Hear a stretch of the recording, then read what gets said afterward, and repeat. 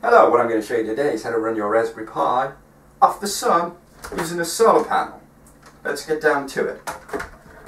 So what do we need? A solar panel, a Raspberry Pi, a battery, a car power adapter, and a USB in-car charger.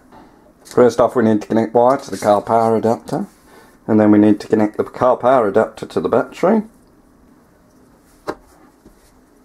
Like so.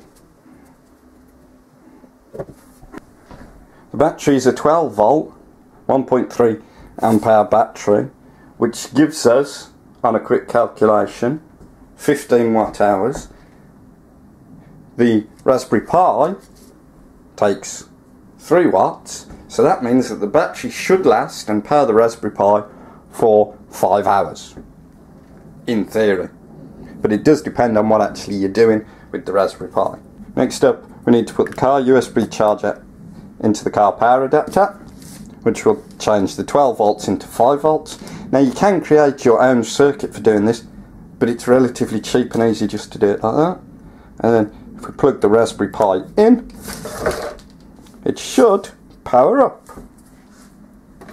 And the final thing to do is connect the solar panel to the battery.